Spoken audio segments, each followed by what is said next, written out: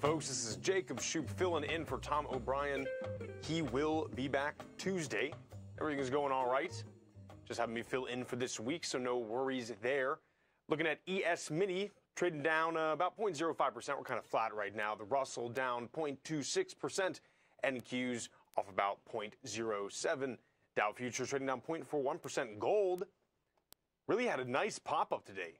2051.90, up about 1.62%. We'll talk a little bit uh, about gold, uh, kind of as it stays as uh, kind of a hedge against inflation. We'll talk a little bit about what Larry Fink said about Bitcoin, kind of in the same vein. Silver really having a good day as well, trading up about 2.75%. Sadly, our boy copper is off a little bit, almost by one full percentage point. We're seeing a massive tick up for crude oil futures. We got a lot of stuff going on regarding that, uh, kind of a confluence of, I guess, a good environment for increasing gas prices. You have issues going on in the Red Sea. You have issues going on, excuse me, now in the mainland of Yemen. Uh, supply issues still persist in Libya with one of the uh, major fields they have under strike. Uh, and then, of course, our listeners out in the Midwest are getting insane amount of snow. So much so, I believe that the Iowa caucus um, was kind of put on standstill because of how bad that storm was. So we have a lot of stuff going on. Uh, that's kind of a perfect storm for seeing crude oil kind of pump up going forward, and really energy costs going up as well. Uh, Brent crude up about 1.23 percent. Let's take a look. Tesla. Now we'll speak about Tesla a little bit. Yesterday, when I was on the show, uh, you know, we were talking about CPI a little bit and how that was a bit higher in December. Uh, now, based on some of the polls from larger finance firms and business, they're saying that some of those components within uh, CPI were uh, a bit inaccurate. Um, namely, one of the big drivers in December uh, was increasing housing costs, and a lot of polls from, like, as I said, big financial firms are saying that's not actually entirely accurate, and we are seeing uh, reduction nationally in the uh, cost of rent and homes. We'll have to wait to see. One of the things I was also talking about that could lead to a less than stellar CPI report for this month is going to be these kind of supply chain disruptions uh, that we're seeing caused by the conflict in the Red Sea, uh, and then also caused by some issues regarding water in the Panama Canal.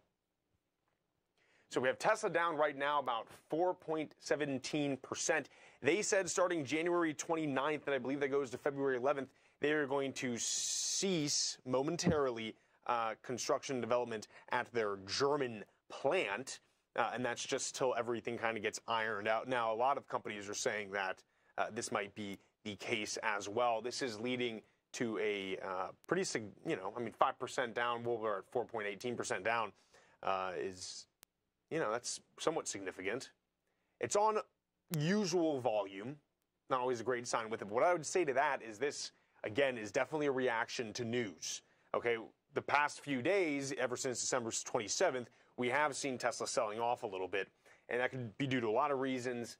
Um, but I can say pretty positively that this major sell-off today uh, is, well, I can't say positively, but these these are the moments that I like getting into stocks when people sell off on major news, that's a very short term, right? And that's what I see going on with Tesla.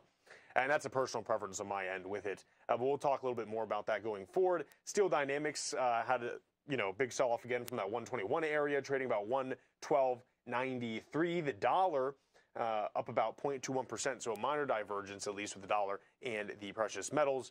Looking at the Qs, going to 408.94. Google 144.26. Meta at 373.71. Disney trading back up into that $90 area. Apple dethroned as the most valuable company. Uh, obviously, Microsoft took over there briefly yesterday, and I think again today it established itself. Lucid, we were talking about a little bit yesterday. That's a sad stock. Um, we'll see how much staying power they can have uh, long term with that, especially in a very uh, pricey and kind of competitive EV market. The banks all right, let's talk a little bit about this, okay? The profits mostly fall in the fourth quarter.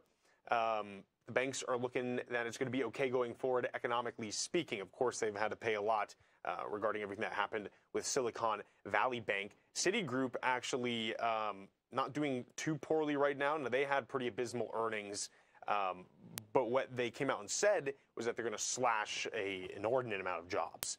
Uh, now, that's obviously positive um, for a lot of shareholders. Let's talk a little bit about this. Three of the nation's biggest banks said Friday that their profits fell last quarter as JP Morgan Chase, um, Bank of America, and Citigroup deal with the lingering effects of higher interest rates and the industry costs of last year's banking crisis that caused the collapse of Silicon Valley and Signature Bank.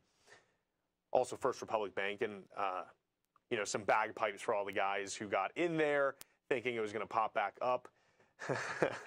as a learning experience for everyone. Uh, all the banks had one-time charges in their quarterly results, uh, many of them specifically related to their own businesses, uh, making this quarter particularly messy. Uh, but setting aside the turbulence of the banking panic and the charges, the banks had mostly a strong 2023 driven by resilient job market, a U.S. consumer who continues to spend and not fall behind on their debts despite the impact of inflation and higher interest rates that have boosted revenue across the industry. Of course, uh, banks always love higher rates like that because uh, they get higher returns on their loans. JP Morgan Chase said Friday that its profits dropped 15% in the first quarter, despite the bank reporting record quarterly revenue. JP Morgan's profits fell because it was required to pay 2.9 billion. Let's take a look on here in JP Morgan's charts. It paid 2.9 billion to the Federal Deposit Insurance Corp, that's the FDIC, uh, as part of an industry-wide one-time special assessment by the regulator to cover the 16.7 billion in costs to cover the uninsured depositors uh, caught up in the collapse of SVB. Other banks like Citi and Bank of America are paying that assessment as well. Kind of interesting. Uh, we'll talk a little bit about uh, Citigroup. Uh, most of the international bank Citi has announced plans to wind down, restructure, or sell off its businesses uh, in the last couple of years. The bank is selling uh, Banamex, its Mexico affiliate, and is effectively liquidating its Russian operations since the war in Ukraine broke out. Citi posted a net loss of 1.8 billion in the fourth quarter compared to 2.5 billion profit the year earlier. Along with the FDIC assessment and some other one-time charges, the profits of Bank of America fell 50 percent. Uh, and then Wells Fargo had some issues as well that we can talk a little bit about as we're going forward. Uh, take a look at Boeing. There's a lot of stuff coming out with Boeing. Obviously, they had the door fly off their airplane. Not great coverage for them. Uh, the the FAA is going to start uh, looking at them a lot more closely. We'll talk a little bit about that when we get back from the break.